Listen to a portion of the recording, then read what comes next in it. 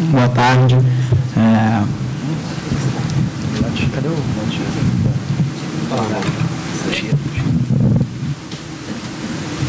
Obrigado, Alexandre.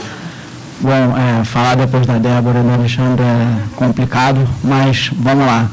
A minha ideia é falar em que medida essa revolução que a gente está vivendo tem influenciado o trabalho é, dentro do, do, departamento jurídico das companhias. A gente tem na Varticila, para quem não sabe é, o que é a Varticila, e acredito que a maioria não saiba, é, a gente é uma empresa global, estamos presentes em mais de 70 países, é, mais de 80 países na verdade, e somos um pouco menos de 20 mil funcionários.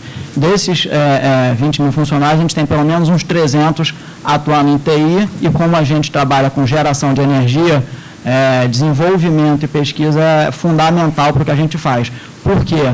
Porque o mundo está girando muito rápido e as energias renováveis são uma realidade cada vez mais presente. Então, se a gente não se adequar, a gente perde o passo da história e a gente vai deixar de ser uma companhia no futuro muito próximo. Então, é, tecnologia é o nosso dia a dia e a gente, no jurídico, tem um, um, passo um pouco mais lento do que o restante da companhia no que diz respeito à utilização de, de tecnologias. Temos, não, tínhamos, né? a gente está correndo atrás disso e é um pouquinho dessa experiência da gente na Varticila com as tecnologias que eu vim dividir com vocês. Então, a companhia é essencialmente tecnológica, mas no que diz respeito ao departamento legal, a gente era mais ou menos assim.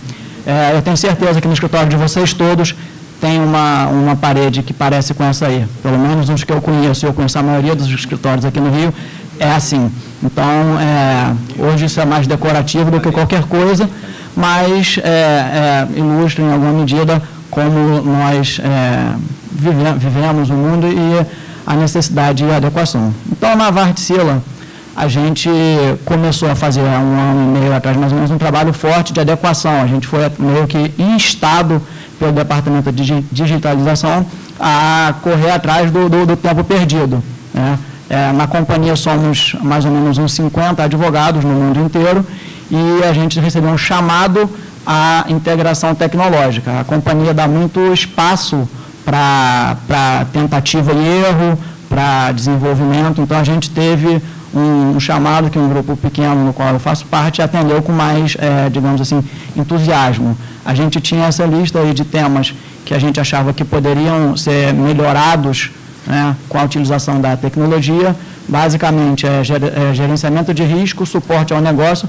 Isso é, eu sou também diretor de compliance na companhia, então é, o grande desafio hoje do departamento jurídico interno de uma companhia, não sei se tem muita gente que é de jurídico interno, mas é conciliar o, a tarefa principal nossa, que é, é, ser uma espécie de gatekeeper das políticas da companhia, fazer negócios de maneira segura, com fazer negócios. As companhias, né, elas precisam fazer o negócio acontecer, e esse é época que o, o, o diretor jurídico da companhia dizia não para tudo, isso não pode mais acontecer. A gente tem que viabilizar o negócio. Então, conjugar esses dois fatores é hoje, na minha visão, e a maneira como a companhia é, vê o, o, nosso trabalho dentro do departamento legal, o maior desafio, e a gente acha, a gente tem comprovado, eu vou dividir um pouco com vocês a nossa experiência, que a tecnologia pode ser um fator é, é, bastante positivo nessa mudança. Então, a gente tem negociação de contrato, pesquisa, GDPR, a política interna de contratos pode ser muito é, é, melhorada, gestão de contratos também é, com auxílio da tecnologia, tem questões de, de, segurança cibernética, que a gente chama lá de cyber security, tem gestão de disputa, a gente tem um, uma gama vasta. E a gente tem, depois que é, fomos chamados a nos atualizar, a gente tem feito algumas ações que eu, é, que eu acho que tem dado muito resultado. Primeiro, existe uma quantidade imensa de softwares que estão disponíveis, eu separei alguns com os quais a gente já, em alguma medida, interagiu, mas a companhia, é, diferentemente de alguns escritórios, tem pouco braço. Nós somos 50 advogados no mundo inteiro. Aqui no Brasil temos três. Então, a gente não tem disponibilidade para fazer toda a pesquisa que a gente gostaria. Então, a gente tem feito, é, trabalhado em associação com escritórios de advocacia que tem interesses convergentes com o nosso na tecnologia e que tem braço. Esse, esse slide aí foi resultado de uma reunião que a gente teve com o Baker Hostetler, um escritório americano, que fez um teste, ele pegou um grupo de 10 ou 15 advogados e botou para fazer, é, com diferentes tecnologias, é, pesquisas semelhantes para ver confrontar o resultado das pesquisas com diferentes tecnologias e compartilhou conosco o resultado dessa pesquisa, é uma coisa super interessante. Então, é, eu tentei agrupar por, é, por tipo. A gente tem no Brasil, vocês devem ter falado sobre isso ontem, ou talvez mais cedo hoje, um universo bom também que está sendo desenvolvido, né, de, de, de, softwares que podem nos auxiliar no trabalho jurídico, mas esse, é, é como a companhia é uma companhia internacional, o foco tem sido mais é, na Europa e nos Estados Unidos, infelizmente. A gente está trazendo um pouco isso para o Brasil, mas isso está mais avançado. Primeiro, os escritórios é, é, nos Estados Unidos, eles são escritórios, às vezes, às vezes tem 2 mil, 3 mil advogados, eles têm grupos, às vezes tem 100 advogados trabalhando nisso. Imagina isso aqui. A gente está tá muito longe da nossa realidade. Então, a gente pega uma carona nesses escritórios com os quais a gente mantém relacionamento e tenta aprender um pouco com eles. Então, a gente tem testado algumas dessas tecnologias, tem feito alguns é, é, desenvolvimentos internos, partindo de alguns instrumentos que a gente acha que é, é, são úteis para a gente e tem funcionado muito bem. Mas nessa altura, a parceria com os escritórios tem se mostrado fundamental. Eles estão, sem dúvida, muito adiantados no que diz respeito ao entendimento de como essas tecnologias podem nos ajudar e a, a, a pesquisas internas. Então, tem escritórios lá que estão desenvolvendo ferramentas próprias que são magníficas. Daqui a um, dois, três anos, talvez, eles vão ter produtos customizados que vão ser um diferencial competitivo, sem dúvida nenhuma, para os clientes. Isso não tenho a menor dúvida e acho que está caminhando a passos largos. Eu vejo isso acontecendo aqui no Brasil também, mas acho que a gente está ainda um passo atrás. E é, a companhia tem, infelizmente, direcionado os estudos mais nos Estados Unidos. Mas essa é uma das coisas que a gente está fazendo e uma das coisas que a gente implementou na companhia que tem dado um resultado muito bom é um aplicativo legal. A gente tinha uma versão primeira que era basicamente de uso interno para os advogados da companhia, a gente podia se conectar um com o outro, a gente tinha download de documentos, a gente tinha uma gama muito boa de ferramentas, mas que passar, a gente estava achando ao máximo, nossa, agora a gente está super tecnológico, a gente é um departamento jurídico de ponta, a gente é ótimo, a gente tem um aplicativo. Eu ficava mostrando aplicativo para todo mundo, mas quando a gente foi ver as métricas de utilização, não servia para quase nada, porque era restrito para os advogados. E nós, advogados, assim, eu realmente não preciso perguntar para o meu colega lá qual é o melhor template para fazer um determinado contrato. Né? Então, a gente, é, depois de um ano de teste, a gente viu que é, a gente estava focando talvez no público errado. E a gente está desenvolvendo agora, está para ser lançado, uma versão 2, que vai ser é, distribuída, vai ser possível de ser acessada por nós advogados, mas também, principalmente, pelo pessoal de vendas, pelo pessoal do, do departamento comercial, pelas pessoas que usam o nosso serviço e que, eventualmente, é, como nós somos um recurso limitado, a gente não pode atender todas as demandas ao mesmo tempo. A gente tenta, mas é difícil. Né? Então, é, tem certas coisas que a gente pode simplificar e deixar no, no, no, celular de cada pessoa. E a primeira versão, você tinha que, para você botar no teu, seu computador, era complicadíssimo. Hoje em dia, você vai na App Store, baixa isso aí, você tem que ter um código interno da companhia, mas você consegue é, interagir com o advogado quase em tempo real. Você encontra os advogados, o que está mais perto de você, você consegue é, o, o, localizar e, e, se conectar com os advogados. A gente, nós, advogados, podemos é, é, fazer upload em tempo real, de minutos atualizadas. E uma coisa que tem dado muito resultado, que eu até trouxe, acho que um exemplo aqui, é que a gente tem perguntas repetidas que não precisariam, eventualmente, de um advogado para responder. Né? Então, a gente fez um caminho simplificado, como está nesse exemplo. A gente tem, isso aí são os incoterms. É uma referência que qualquer pessoa, tendo acesso a esse mapinha, não vai precisar me ligar desesperado porque está precisando dessa informação. Basta ele respondendo essas perguntas, ele vai chegar aonde ele quer. Então, isso tem se pela, pelas métricas que a gente tem de utilização, isso tem sido muito acessado. A gente está desenvolvendo alguns outros. Tem um outro exemplo aí que é, é de export control, que é hoje é uma, uma, uma questão fundamental para a companhia como a nossa, que trabalha é, movimentando equipamento no mundo inteiro de maneira bem continuada. Então, e a gente está vivendo um momento global em que as sanções estão se multiplicando, então a gente tem esse tipo de, de, de informação acessível, às vezes a pessoa acha que precisa desesperadamente de um advogado, ela vai lá, procura e se vira sozinha. Isso não tira de forma alguma é, a necessidade de conversar com o advogado para fechar os negócios e tal, mas ajuda no dia a dia da, da, da gestão da, da, do, da movimentação que eles fazem, né, dos negócios dele, porque eles não podem ter um advogado. Tem, sei lá, não sei quantas mil pessoas vendendo produtos e tem 50 advogados. Então, eventualmente, a gente tem um gap aí que a gente tenta suprir com essa aproximação via celular. Então, isso é uma coisa que tem funcionado muito bem na companhia. A gente tem essa versão número 2, é, já tá, a gente já está mapeando o que será é, importante para a versão número 3. Não sei, assim, aqui, se alguém tiver sugestões, eu estou totalmente aberto, porque a gente tem feito muito também é, benchmark. Eu tenho falado em alguns eventos como esse, a gente tem procurado conversar com, com, com o mercado. É, tem muitas empresas que estão mais ou menos na mesma situação que a gente, estão se adaptando e o departamento jurídico está também é, correndo atrás, digamos assim, do tempo perdido. Então, a gente, conversando com alguns outros advogados, com pessoas de, de, de departamentos jurídicos internos, a gente já tem algumas, uma listinha de coisas que a gente pretende melhorar para a próxima versão. Então, essa é uma ação que a gente a, a, gente fez várias é, coisas que deram errado. Estou falando só das que, que deram certo da gente. Então, essa foi uma das que deu certo. E uma outra que deu certo, a gente fez um hackathon. Algum de vocês sabe o que é um hackathon?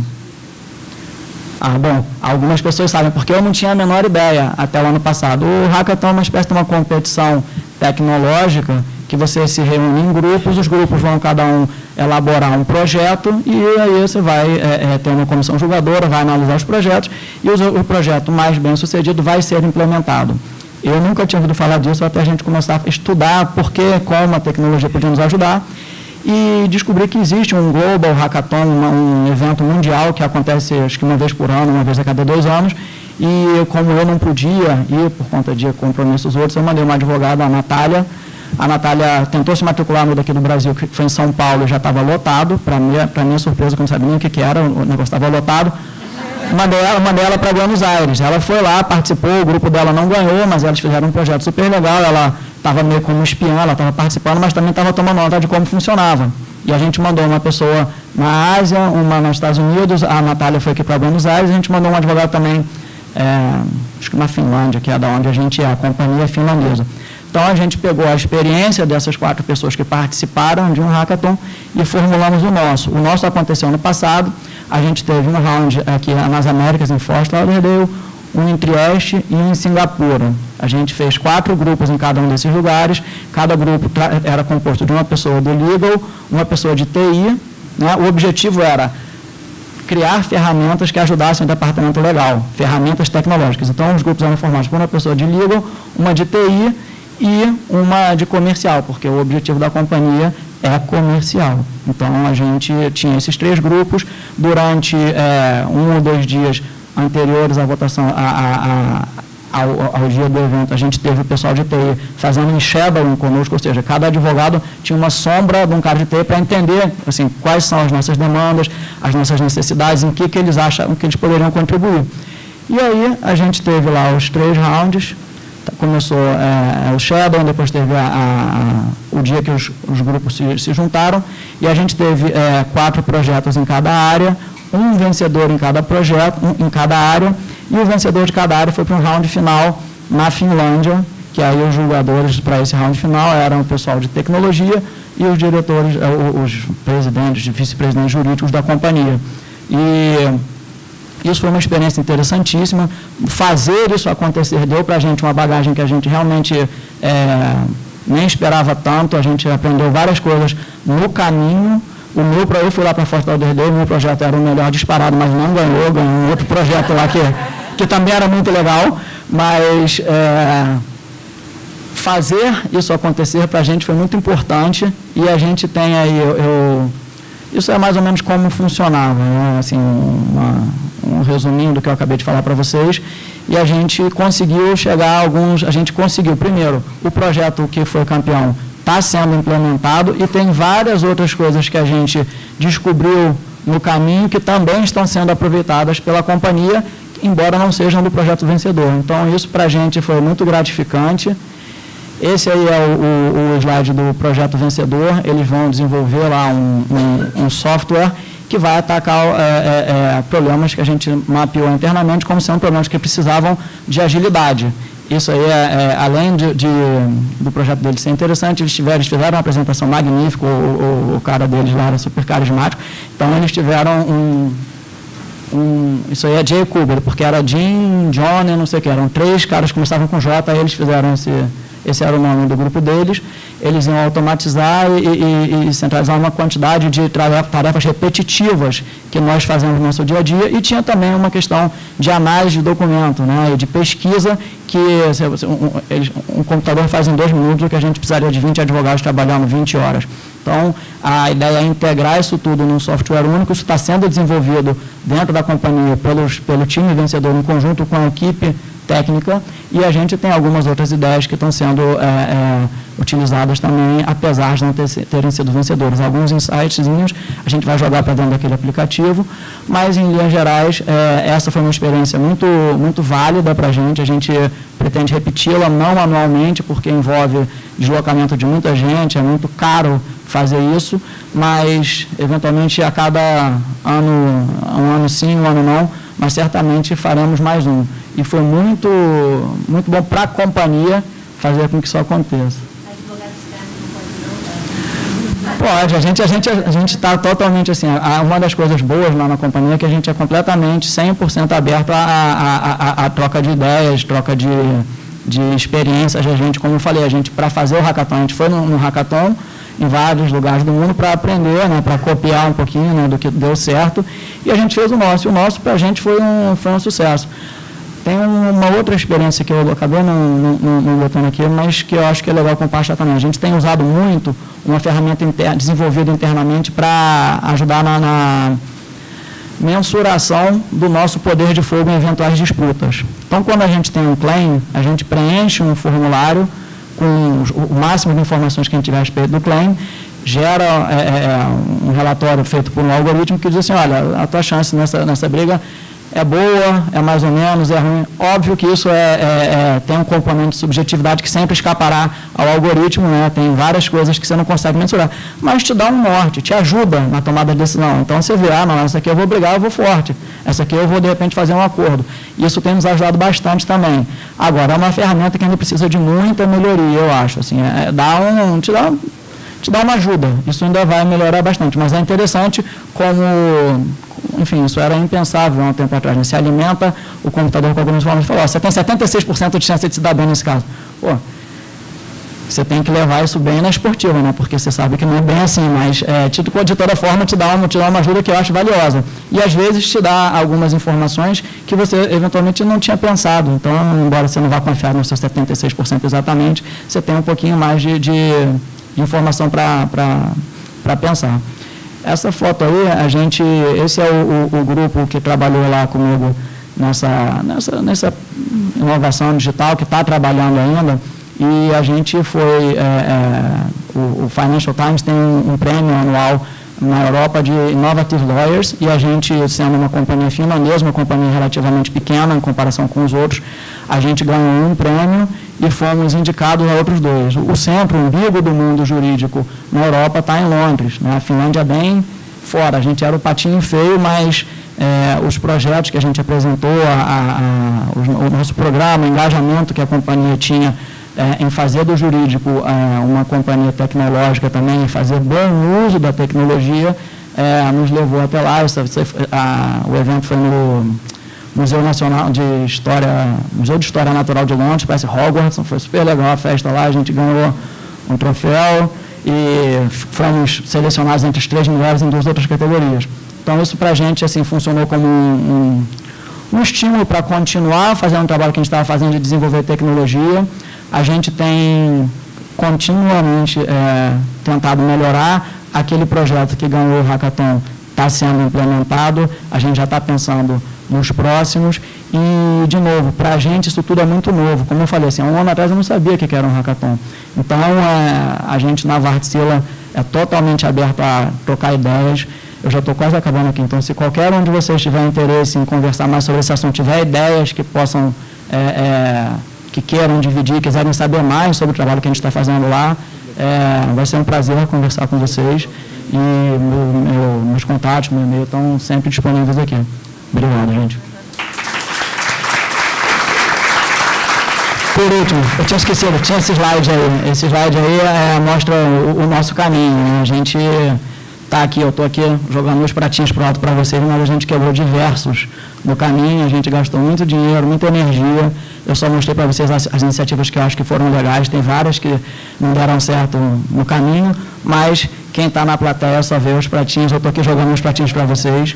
E quando eu estava fazendo uma apresentação há um tempo atrás, eu, meu filho estava, eu tenho um filho de 11 anos, ele estava do meu lado e falou, pô, pai, mas aí vocês quebraram muitos pratos no caminho, não valeu a pena? Com certeza. Acho que se não quebrar os pratos, você não chega lá e a gente continua quebrando vários pratos, mas pelo menos eu já posso estar aqui fazendo meu, meu showzinho para vocês. Obrigado, gente.